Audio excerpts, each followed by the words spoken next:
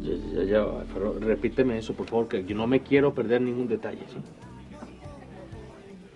Bueno, mira, en caso de que David y la muchacha en cuestión se pongan de acuerdo para presentar a ese niño como hijo de ambos, tú lo que tienes que hacer es impugnar la paternidad de David abriéndole un juicio.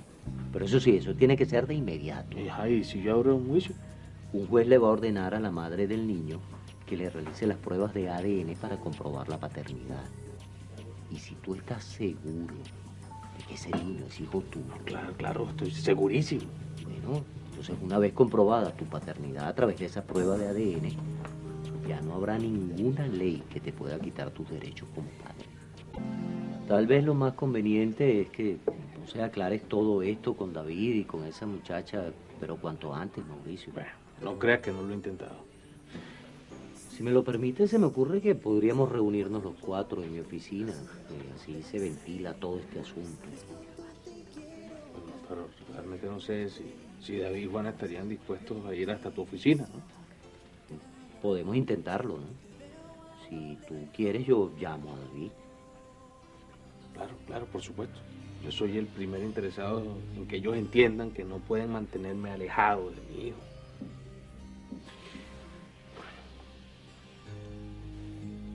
Déjame ver qué puedo hacer. Nos estamos hablando, ¿no? Ok. Hasta la vista. Vale. Seguro hablamos. ¿Cómo es posible que ahora estés tan cambiada, Juana? Y tú, tú eres la que te sientes engañada.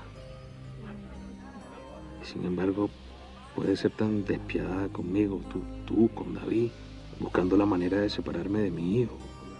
Tú que mejor que nadie compartiste conmigo mi dolor. Tú que sabes lo que eso significa para mí.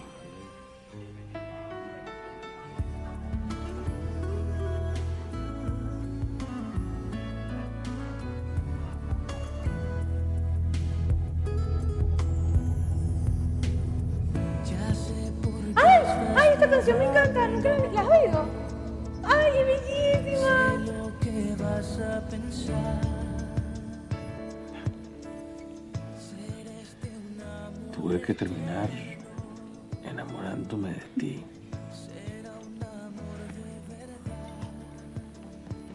Y tú pensando que, que yo te utilicé.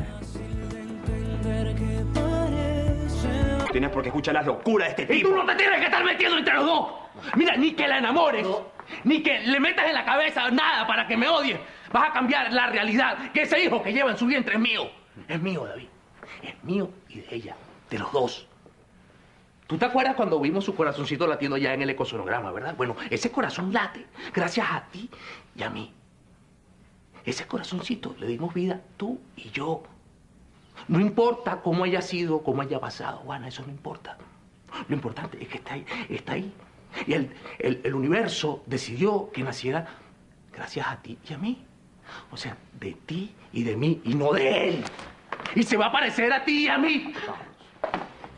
Y va a tener mi sangre. Y eso tú no me lo puedes quitar. Escúchame, escúchame. Tú habrás podido engendrarlo. Pero si yo lo reconozco y la ley me da la razón, seré yo quien lo críe, chico. Sí. Se parecerá a ti perfectamente, pero a quien le va a decir papá es a mí. ¿Y qué le vas a decir a mi hijo cuando crezca? Que le negaste a su verdadero padre, ¿por qué? Por, por orgullo. Porque no soportaste creerte engañada y él va a pagar tu confusión. No la enredes Y más. tú eres el que te empeñas en enredar todo lo que está pasando, David. A cuenta de que no pudiste enamorar a, Juana, ¿qué vas a decidir ahora por el bebé? Esa es tu forma de enamorarla.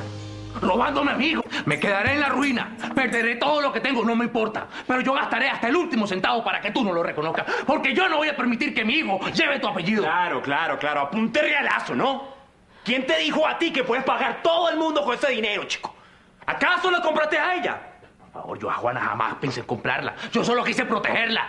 No me hagas reír. ¿Sabes lo que tú eres? Un mentiroso. No te engañes, chico, no te engañes. Que ya todos sabemos lo que a ti te interesa. ¡Ay, ya! ¡Ya cállense la boca, ya! Dejen de hablar de mí como si yo no estuviera aquí. ¿Acaso ustedes saben lo que, qué es lo que yo siento, qué es lo que yo quiero, qué es lo que yo deseo o no, verdad? supone que cuando una mujer concibe un hijo es... Es la cosa más hermosa del mundo. Se debe sentir la mujer más feliz del mundo. Y para mí concebir un hijo ha sido una desgracia. Lo único que ha sido es sufrimiento, dolor y lo que más me duele es, el remordimiento porque mi hijo no tiene la culpa. ¡Ya! ¡Cállense los dos! ¡No los quiero oír! ¡A ninguno de los dos! ¡Déjenme en paz! No estén hablando como si yo no estuviera aquí. Yo estoy aquí. Yo tengo voz y voto. Trátenme como el ser humano que soy. ¿Ustedes creen que pueden hacer eso? ¿Sabes qué es lo que pasa, Mauricio? Que cuando uno se convierte en un vientre alquilado, cuando te pasa todo lo que a mí me ha pasado, cuando no tomas ni una sola decisión, no sabes qué hacer, ya no sabes nada. Y yo de verdad no vine para acá a hacerte daño, en ningún momento fue esa mi intención, de verdad.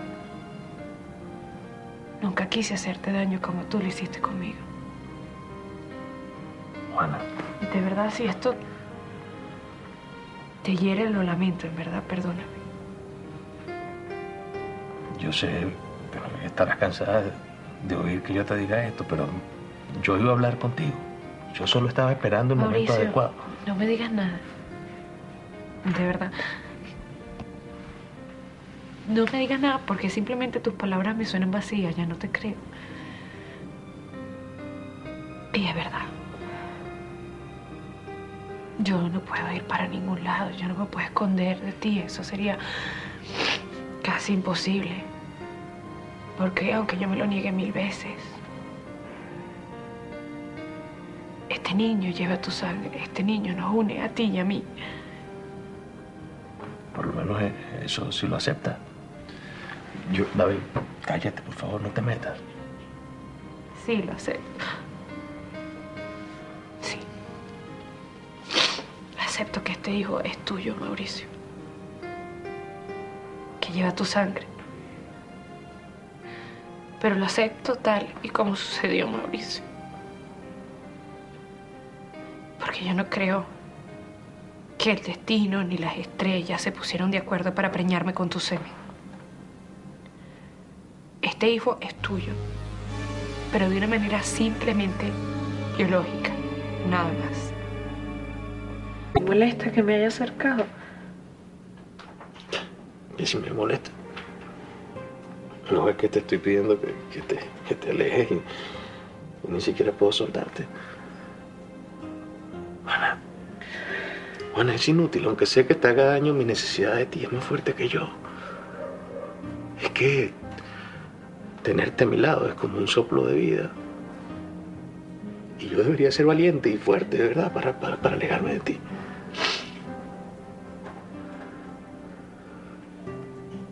No entiendo qué es lo que estás diciendo, Mauricio.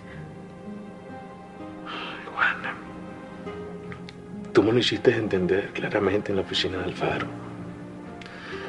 Cuando me reclamaste el daño que te he hecho.